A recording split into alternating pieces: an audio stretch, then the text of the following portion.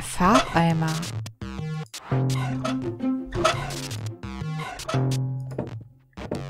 Dann schon eher schwarz, mit so aufgeklebten Flammen vorne an der Seite. Und vielleicht ein Drache mit einer Streitaxt.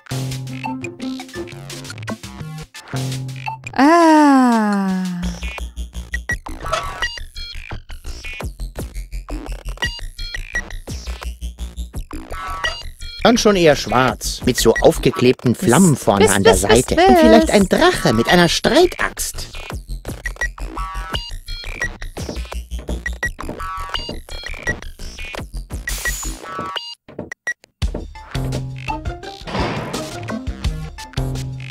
So. Kann er mir mal noch einen Tipp geben?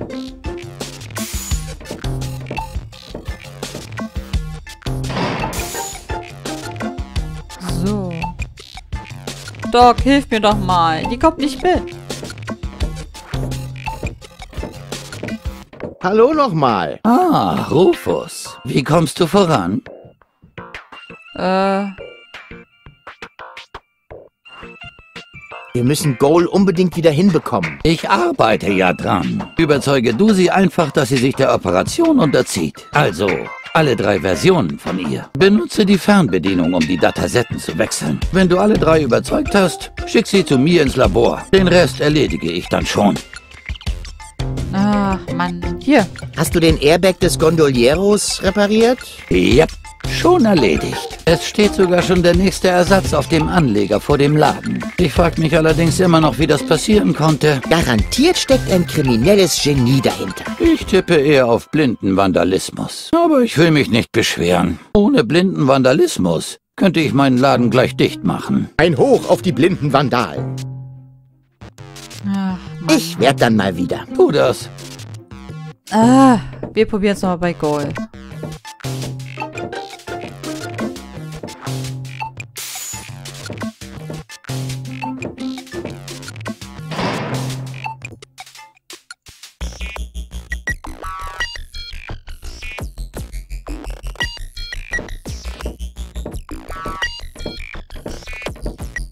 Das ist ganz schön verzwickt diesmal. Ich hab echt ein richtiges Problem gerade.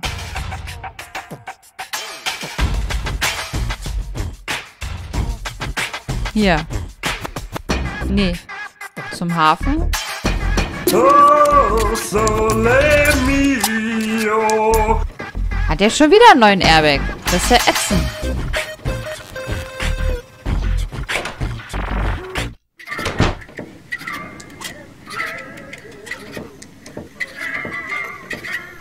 Mann. Hi. Ah, du schon wieder. Willst du jetzt endlich was bestellen?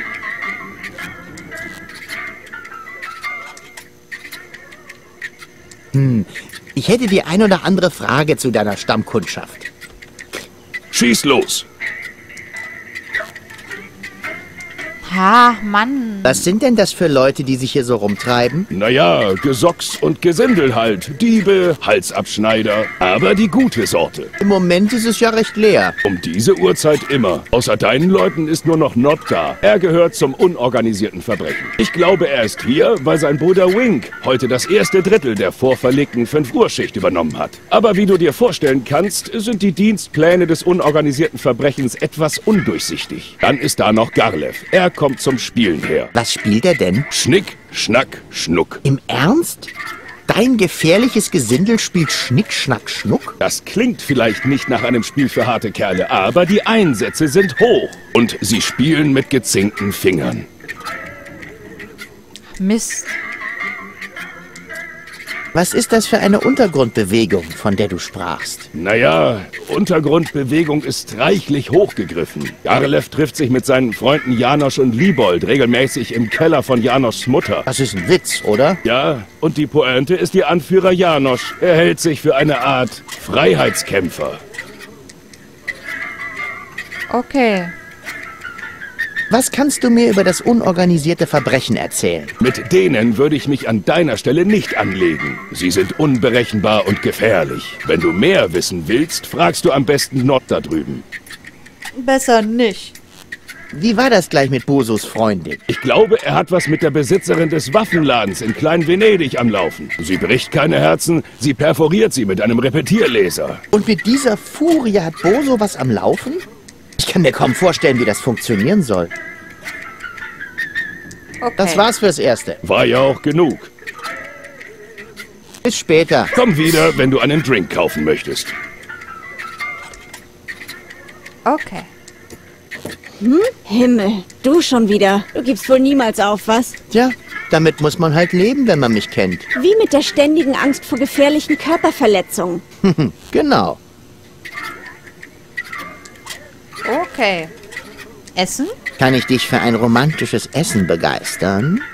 Eine Einladung zum Essen? Wirklich? Vielleicht ist ja doch noch ein Funken Anstand unter diesem speckigen Mantel. Erst das Essen. Meinen Anstand kannst du später noch auspacken. Was ist das für ein Restaurant? Ist es dort sauber? Restaurant? Ich dachte eigentlich an eine extra Portion Erdnüsse. Die sind doch umsonst, oder? Wenn man von den Arztkosten absieht, ja. Sauber. Das wäre ja auch zu schön gewesen. Vergiss es einfach. Okay. Warte hier. Ich bin gleich zurück. Ist das ein Versprechen? Natürlich. Gut, das erhöht die Chance, dass du wegbleibst. Eine klasse Frau. Das muss Gulliver sein. Er scheint mir ganz in Ordnung. Aber er ist ein lausiger Ersatz für Lonzo. Hi. Ah, du schon wieder. Willst du jetzt endlich was bestellen? Ah, Mann. Bis später. Komm wieder, wenn du einen Drink kaufen möchtest. Nee, nicht nach oben. Oder? Doch, ich will ja wieder raus. Mann.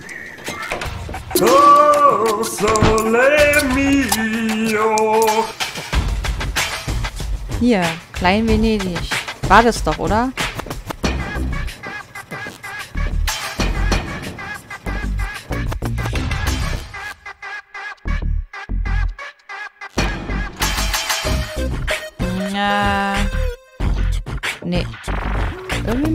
Muss ich. Wo muss ich da lang?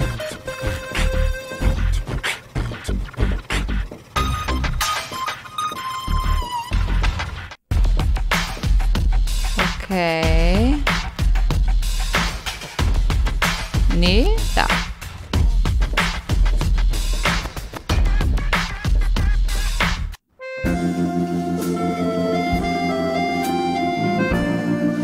So.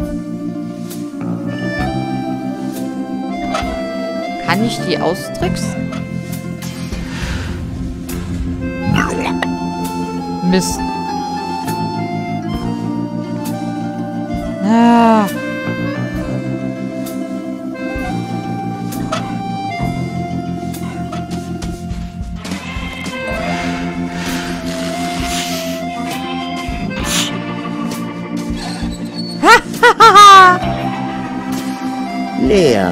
Von dem Vogeldreck mal abgesehen. Hier ist nichts außer Vogeldreck. Und davon gibt's genug bei Boso an Deck. Deswegen hätte ich nicht herkommen müssen. Das ist ja geil. Her damit. Au. Au! Verdammte Todesfalle!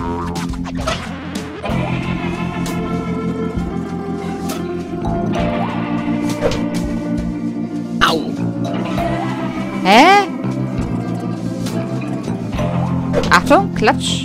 Au!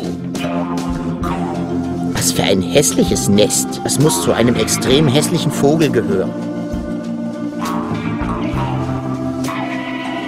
Dann gehen wir mal rüber.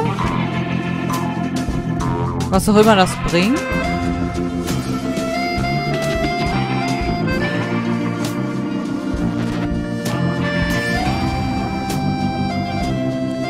Mein botanisches Expertenwissen verrät mir, dass das hier eine ähm, Pflanze ist.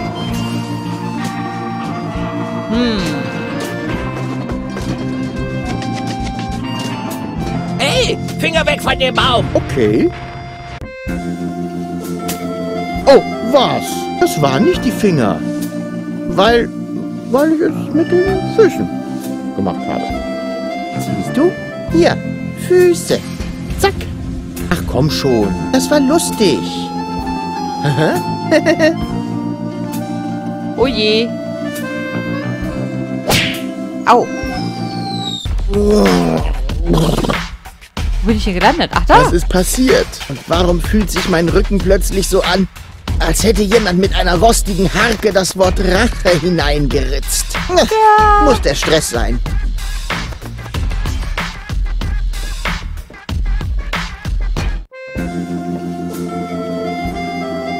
Ah, zumindest können wir hier aber wieder rein.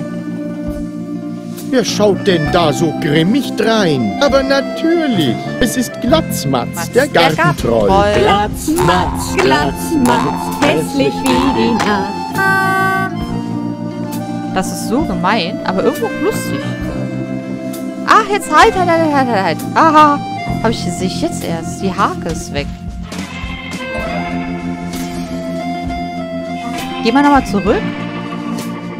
Die Hake ist weg. Sehe ich jetzt erst.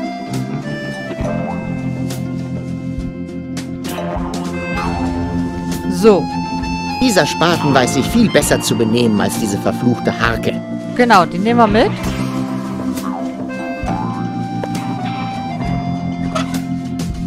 Kann ich damit das Ei ausbuddeln? Ich rühre grundsätzlich nichts an, was jemand Fremdes Ah. bereits im Hintern hatte. Irgendwas Nützliches muss ich daraus doch basteln lassen. Ein Rechen für Rundbeete. Hm. Mist. Dieser Idee fehlt noch der richtige Dreh. Ah, na gut.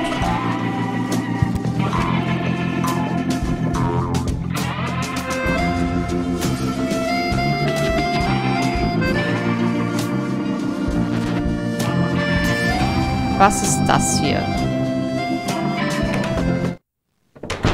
Oh, ein Captain. Boah, was für ein Schuppen.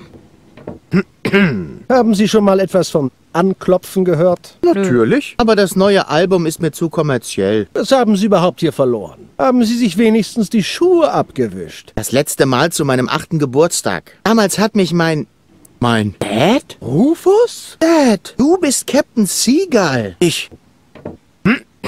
Die Schuhe, Rufus. Entschuldigung, Sir. Oh, was ist denn hier los?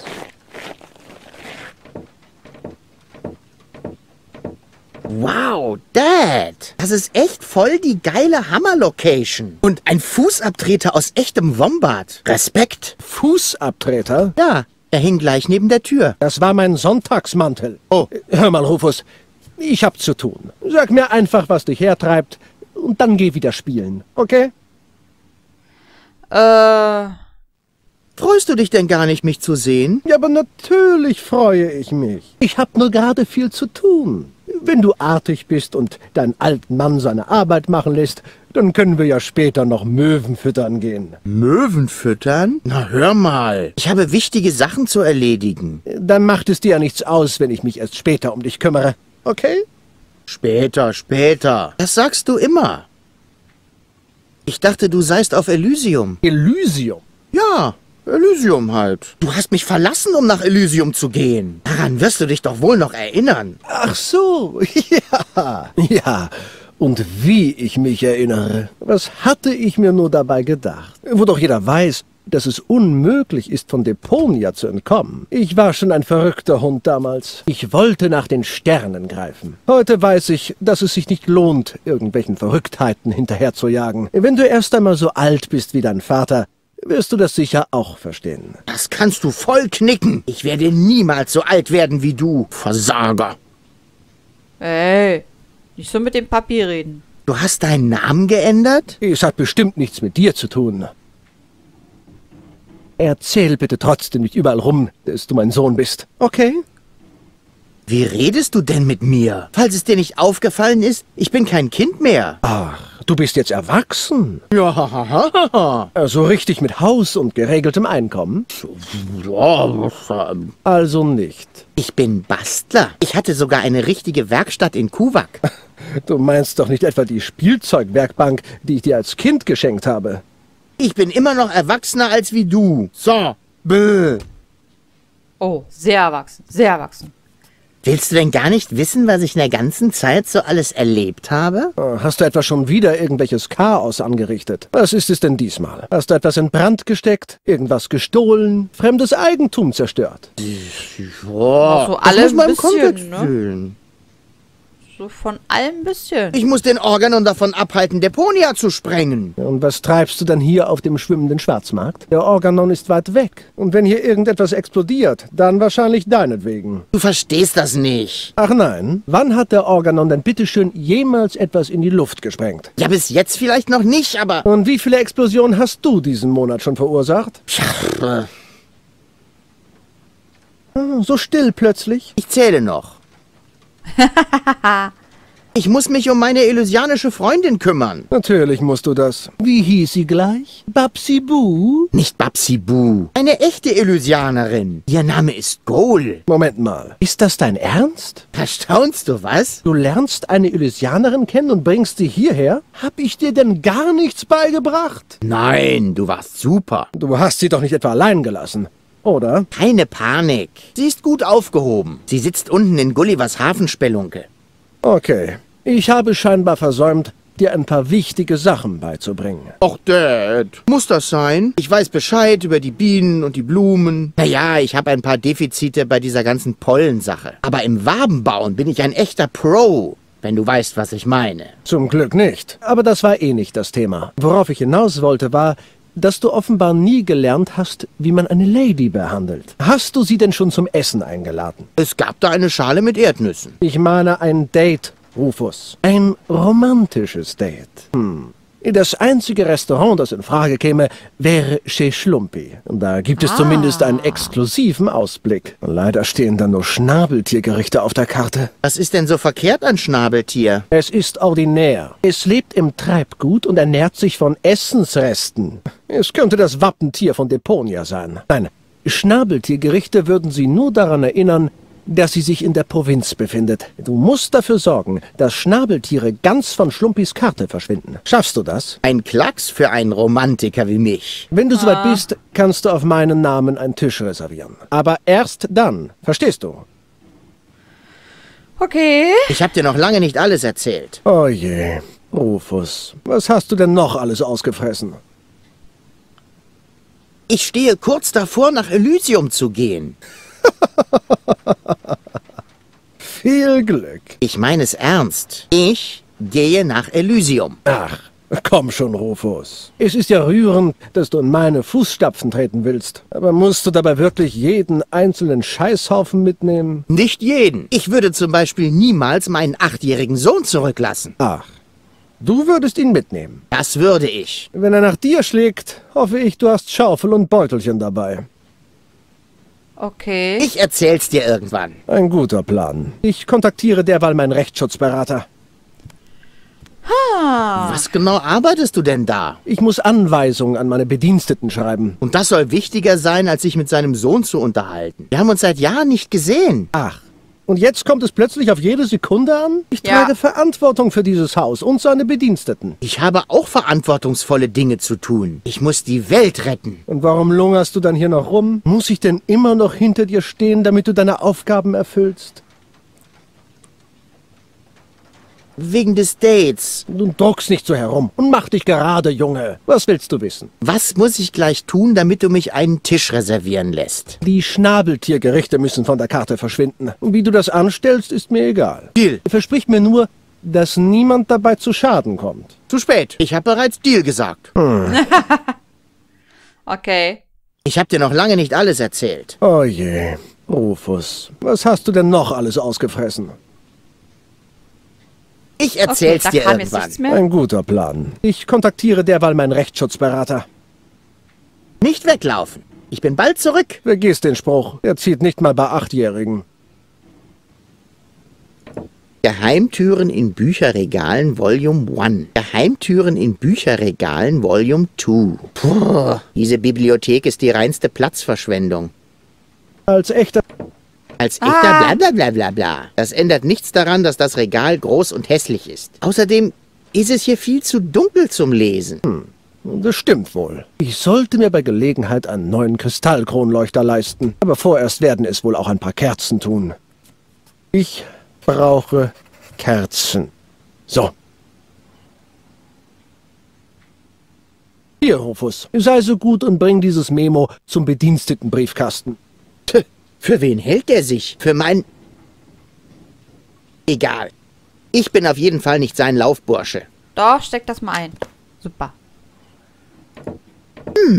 Das hier springt ins Auge. Geheimtüren in Bücherregalen für Dummies. Ziehen Sie an dem Buch mit dem Titel Hier ziehen für Geheimtür. Na, wer hätte das gedacht? Ziehen Sie an dem Buch mit dem Titel... Na, wer hätte Ah, das gedacht? Okay. Von wegen Luxusvilla. Hier haben sich sogar schon Parasiten eingenistet. Das ist mein Aquarium. Ich sammle seltene Zierfische. Selten dämliche vielleicht. Und mickrig sind sie auch noch. Ich müsste sie tatsächlich mal wieder füttern. Ich brauche Brotkrummen. So.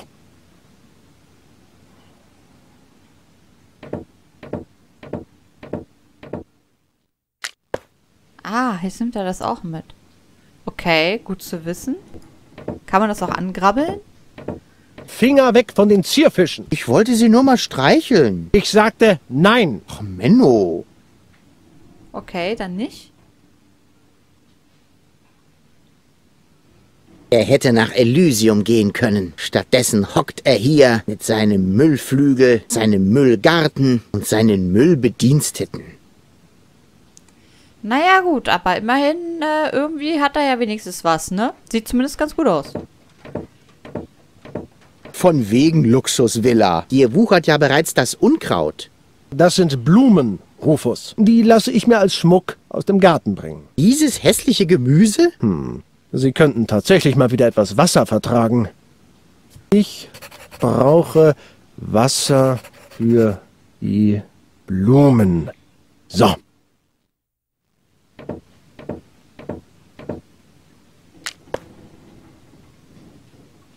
Okay.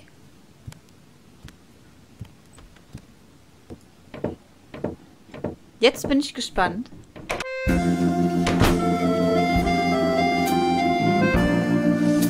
Wo ist denn der Bedienstetenkasten hier?